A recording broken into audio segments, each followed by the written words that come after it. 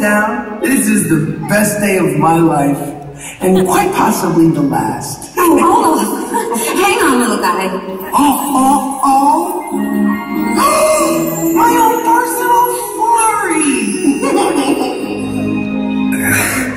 Anna?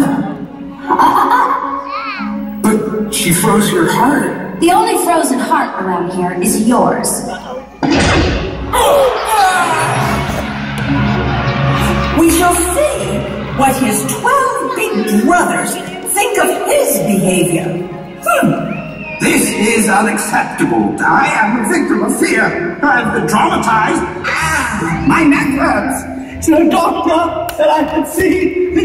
No, and I demand to see the Queen. I have a message from the Queen.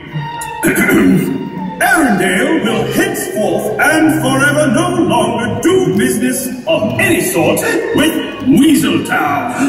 Weselton! It's Weselton! I owe you a sled. Are you serious? And it's the latest model. No, I, I can't accept this. You have to. No returns, no exchanges. Queen's orders. She's named you the official Arendelle Ice Master and Deliverer.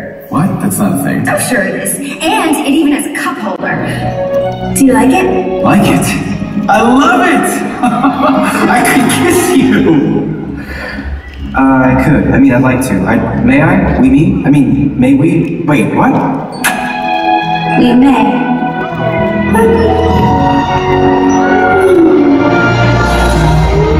I like the open gates. We are never closing them again.